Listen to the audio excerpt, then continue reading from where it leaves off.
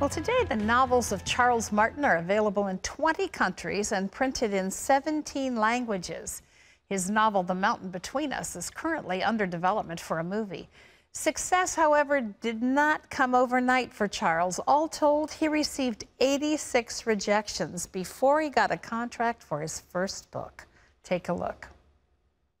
Charles Martin has been writing stories since he was 15 but he never imagined himself as a New York Times best-selling author. Charles put his dream to be a writer on hold until after graduating from Regent University's master's and doctorate programs. He continued writing, but took a job selling insurance to support his family.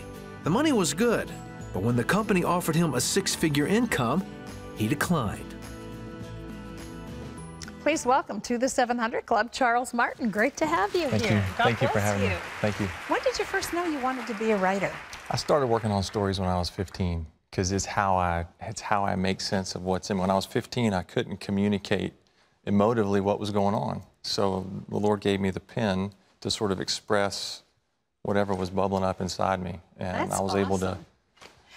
I was able to get on a page, but I couldn't get out my mouth. So you were writing on the side. You got a job selling insurance, and you were really good at it. I mean, you did well. You were. Yeah, but I, I, I, I was good at it because my brother-in-law trained me, and I helped put legs on his promises. Um, but it wasn't my dream. It wasn't what I. It wasn't what I wanted to do. I had this manuscript in a drawer. Christy had read it. She thought it was good, maybe good enough to find a place somewhere in Barnes and Noble. But here you are. You're you're offered a six-figure salary, a six-figure bonus with it. A lot of people would have said, "Ditch the dream. This is working for me." Yeah, but it wasn't my passion. It wasn't what got me out of bed in the morning. I was grateful for it. I mean, my folks, my dad and my grandfather grew up on either side of the Depression. They never would have thought about it. They never would have said, Can I think about it over the weekend? They said, Yes, can I start today? But Yeah. I did, and I was wrestling with, Lord, why did you put me on planet Earth? I mean, what is it that you want me to do? So here you're offered this money. What did your wife say when you when you said, "I- "I don't want this"? She woke me up about right"? four o'clock in the morning. We had a rough weekend. We were just really wrestling with what, who do you want to be when you grow up? And about four o'clock in the morning, she tapped me on the shoulder and she said, "That's a lot of money." but I, you know, I said, "Honey, what do you want me to do? That's my my pipe dream, my dream. I just," and it was. She gave me a gift. I can't ever repay her. Sunday, later that weekend, she came to me. The Lord had really done some neat stuff in her, and she said, "Okay, we're going to do this one time, and we're going to do it." all out because I don't want to get with you to your age 40 and you tell me you could have been somebody else. Yes. Oh my. Now I'm 43 and my stories are in 20 countries and 17 languages and we did that. The Lord l- allowed us to do that. But before you got to that place, Yeah. 86 rejections. Yeah.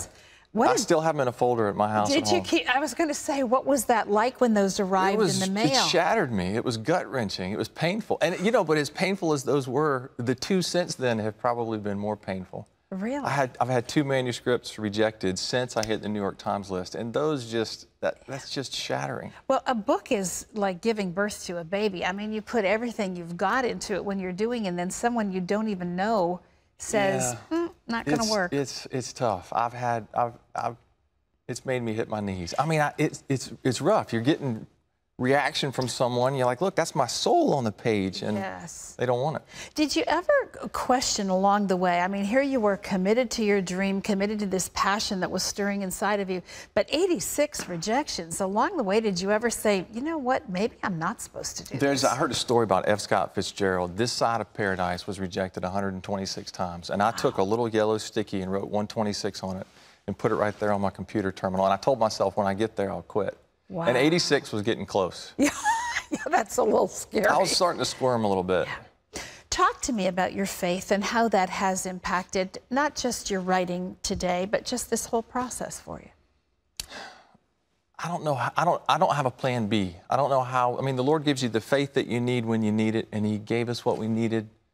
Um, I pray that my stories honor the Lord. I pray that they're on His shelf when I get there. Yeah. Um, And when you get there, it's not just on the shelf. Now you've got a movie deal. Yeah, that, and it's been in development for about two and a half years. Peter Chernin at 20th Century Fox bought it, optioned it. I understand it's in development. They have phenomenal people attached to it. I hope they pull it off. I hope they make a story. I'm for you. I'm pulling for you. um, I think it would be a great movie. Yeah. But I, I'm so far down on the totem pole. I, I find out when they post it on the internet.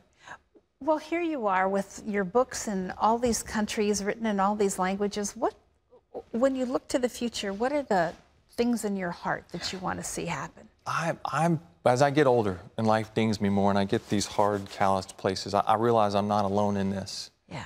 and my readers are not alone in this. And I, I want to write stories that sort of reach in behind the hard places and circumnavigate them and touch them where they're still tender and they can still feel and forgive quickly and laugh deeply. And, and Mm-hmm. Yeah. I want my stories to do that. Hopelessness is something we're fed in this culture. Like, here, this is your daily dose. You just eat this today. And I react strongly to that. I don't like it. I don't, I don't think we ought to just have to eat hopelessness because it's what culture gives us. Why not raising hope to the surface? Well, you do that in Unwritten. That's your latest one. I was up late last night reading this because I couldn't put it down. Is that what you want readers to take away from this book? Because it's all about going to those places that we've Two allowed to things become love hard. wins and hope never dies. Yeah. And the second is that broken cups can still pour water. Yeah, yeah. Sometimes with more appreciation by those Yeah. using them. Yeah. It's an awesome book. You're a Regent grad. I am. Yeah. What was that experience? Awesome like experience. I wouldn't trade it for anything. I, I, the Lord poured into me. I, we came, I flew in last night, and my, I, I drove up. The guy driving me said, "What are your memories here?" I said, "I remember a lot of hard work." Yeah. And we Oh, did. But Christy and I learned to lean on one another and learn to trust one another and the Lord.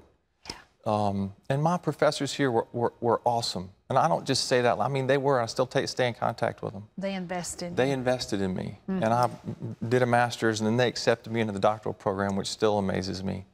And I So finished that. But that, it was one of the highlights. Total mountaintop. Well, we're so proud of you. So proud of you. Charles' latest novel I want to mention is called Unwritten. It's available wherever books are sold. It is a good read. You'll be up late if you get a hold of it. Great to meet you. Thank you. Wonderful story.